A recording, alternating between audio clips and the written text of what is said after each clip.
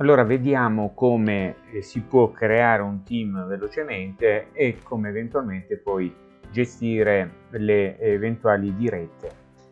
Allora intanto si va in alto a uniscite un team o creane uno. Quindi crea un team.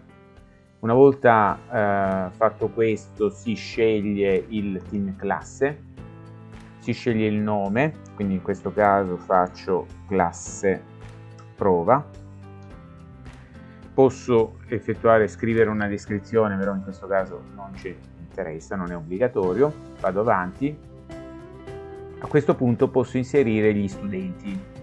Essendo già presenti gli studenti all'interno della piattaforma di Microsoft Teams basta cliccare già il, le iniziali dei nomi o dei cognomi dovrebbero già venire fuori e quindi li vengono di conseguenza caricati. Io adesso faccio degli esempi quindi facciamo finta che questo è uno studente che deve essere caricato, quindi io aggiungo tutti gli altri e quindi clicco su aggiungi e quindi chiudo. Adesso ho caricato questa, questi studenti nella mia classe, ho creato quindi questo team classe prova.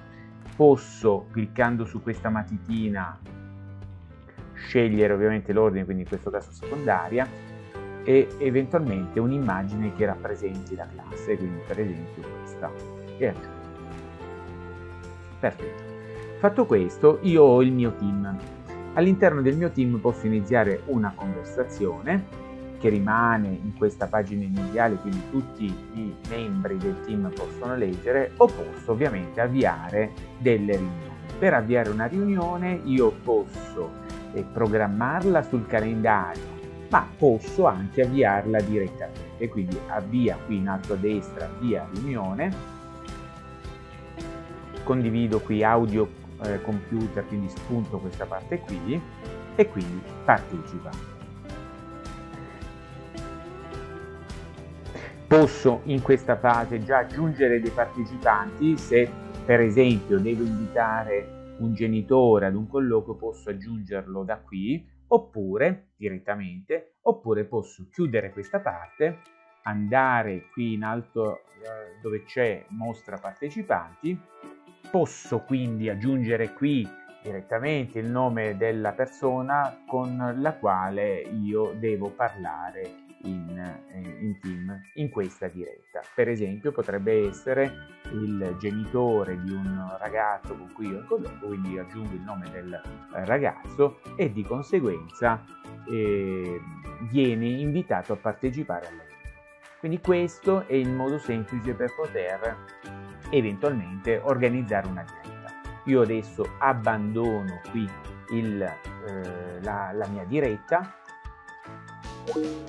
e vediamo invece velocemente in che modo posso programmare una riunione su Team, in questo caso su questo canale classe prova.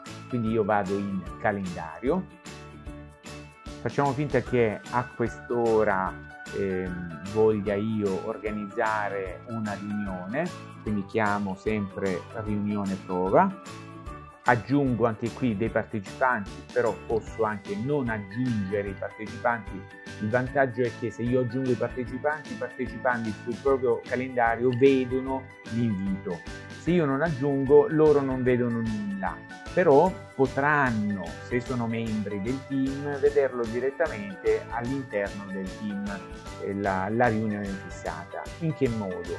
Aggiungendo qui il canale quindi vado su aggiungi canale, clicco sopra, mi si aprono tutti i miei team, tutti i, team che io ho creato, quindi in questo caso devo andare a classe prova, ne ho due, quindi vado quella con, dove io ho scelto questa icona come simbolo e clicco su generare.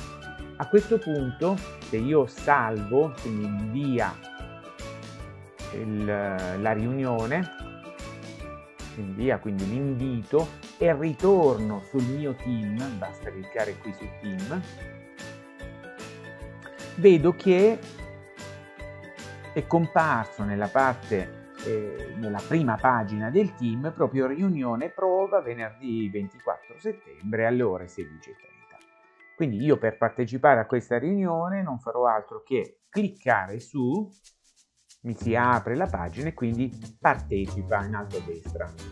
Come ho fatto già prima, quindi spunto questa parte audio computer, partecipo e quindi sono entrato all'interno della diretta. Ovviamente se devo, in questo caso eh, la, la videocamera, la webcam è spenta, altrimenti potrei attivarla. Posso chattare ovviamente con i membri della diretta, posso invitare a partecipare attraverso questa, questa funzione, quindi nascondi o mostra partecipanti, quindi io posso direttamente cliccando qui le iniziali della persona invitare a partecipare o posso, se ho già inserito dei partecipanti, eh, andare con la manina sul nome del partecipante e quindi sulla destra di questo compare la dicitura chiedi di partecipare, quindi si, si clicca sopra e quindi la persona viene invitata a partecipare a questa riunione.